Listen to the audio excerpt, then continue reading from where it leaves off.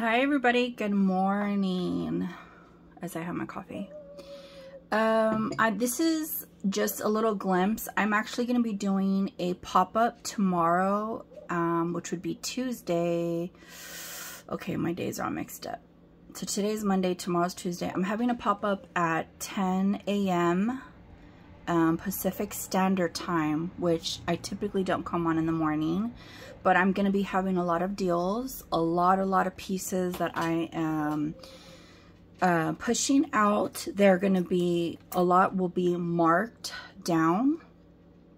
We're going to have a lot of $5 pieces, a lot of $10 pieces, maybe one auction or two, you know, but to be honest with you, I just want these beauties to find a new home. A lot of these I've had for a while um, and some I've only featured maybe once in my video or twice in the past year.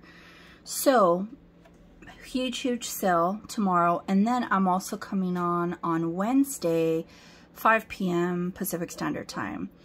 Um, I checked my calendar, but my phone is recording right now. So the date, so you're not confused, will be in the title. So tomorrow, Tuesday at um, 10 a.m. Pacific Standard Time, I'm going to have this pop up. I don't know how long I'll be on. Maybe a couple hours, maybe four hours. I'm not too sure. Um, my kid will be in school, so I'll have, you know, a good amount of free time.